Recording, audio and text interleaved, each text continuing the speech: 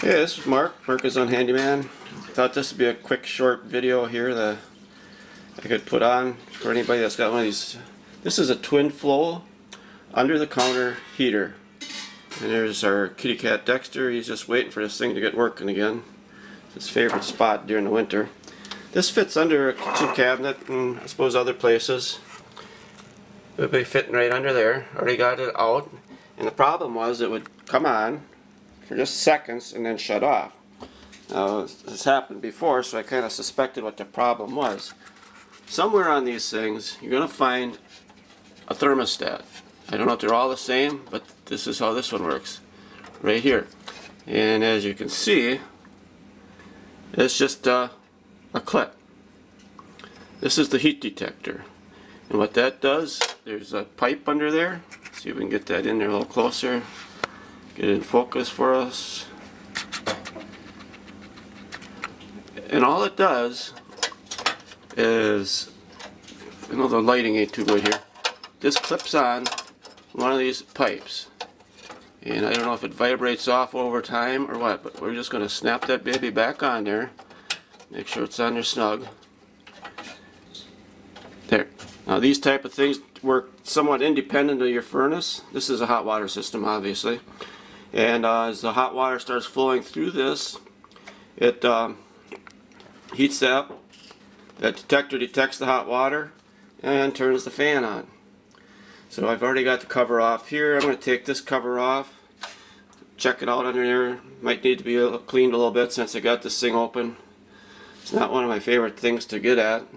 Got to take all the cleaning materials and things out from under the sink here. Uh, this is a Twin-Flo 3 it's been in here quite a few years, but uh, still in good shape.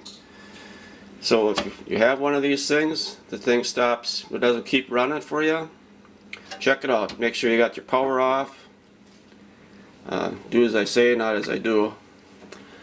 And uh, just check. If that thermostat came off, just pop that baby back on, put everything back together, and should be set to go. Okay, we got the cover off. This is what it looks like inside. Like a radiator. Basically, that's what, that's what it is. Doesn't look too bad.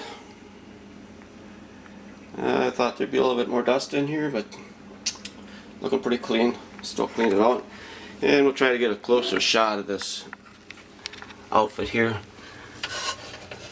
And, uh, try to focus that in a little bit.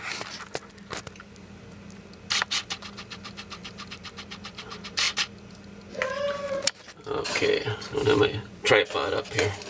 This is it. Right there. If you can see that. Oh, that just uh, goes right around that little pipe there.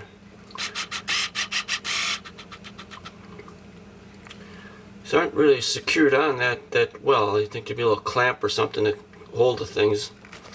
But uh, that's the way they are.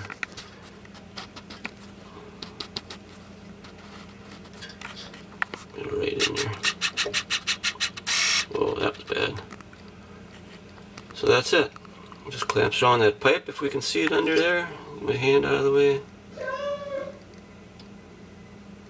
So, we'll clean this baby up, put her all back together, and wait for winter. I think winter might be here almost.